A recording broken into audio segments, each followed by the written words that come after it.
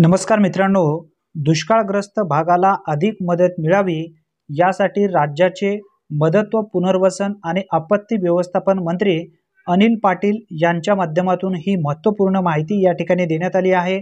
मित्रांनो video skip न करता नक्की शेवटपर्यंत पहा. तुमच्यासाठी ही माहिती अतिशय महत्त्वपूर्ण आहे.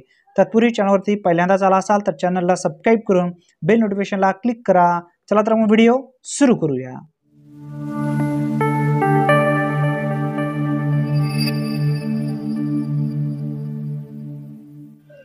मित्रांनो आपत्ती व्यवस्थापनातून दुष्काळग्रस्त भागाला अधिक मदत करण्यासाठी केंद्र शासनाने सहकार्य करावे.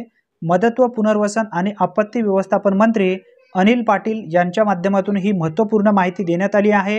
मित्रांनो व्हिडिओ स्किप न करता नक्की शेवटपर्यंत पहा. आपत्ती व्यवस्थापनातून दुष्काळग्रस्त भागाला अधिक मदत करण्यासाठी केंद्र शासनाने सहकार्य करावे. यासाठी केंद्र शासनाच्या स्तरावर उपाययोजना आखाव्यात अशी मागणी आज केंद्रीय वित्तमंत्री निर्मला सीतारामन यांच्याकडे केली असल्याची माहिती राज्याचे मदत व पुनर्वसन आणि आपत्ती व्यवस्थापन मंत्री अनिल पाटील यांनी दिली आहे.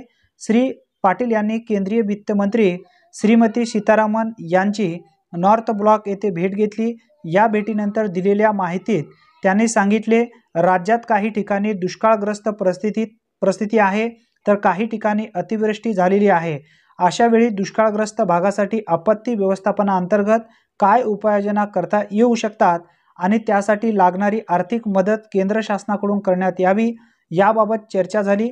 यासाठी गृहमंत्री अमित शहा यांच्यासोबत येत्या काळात भेट घेऊन चर्चा करण्यात येईल अशी माहिती दिली आहे. तसेच या संदर्भात राज्याकडून केंद्र शासनाला प्रस्ताव पाठवण्यात पाठवण्यात येणार आहे. अशी सुद्धा ही महत्त्वपूर्ण माहिती देण्यात आली आहे. मित्रांनो पाऊस सलग कुठेही आणि कधीही एकसारखा नसतो त्यामुळे पीक विम्याची रक्कम शेतकऱ्यांना मिळण्याबाबत येणाऱ्या अडचणी विचारात घेऊन आवश्यकतेप्रमाणे केंद्राच्या निकषात बदल करून यात स्थिरता आणण्यात यावी अशी मागणी येत्या काळात केंद्रीय गृहमंत्री आणि केंद्रीय कृषी मंत्री यांच्याकडे करण्यात येणार असल्याची माहिती श्री पाटील यांनी यावेळी सांगितली आहे. मित्रांनो अतिशय महत्त्वपूर्ण ही माहिती आहे. धन्यवाद. पुन्हा भेटूया नवीन व्हिडिओमध्ये. नवीन माहितीसह तोपर्यंत जय हिंद जय महाराष्ट्र.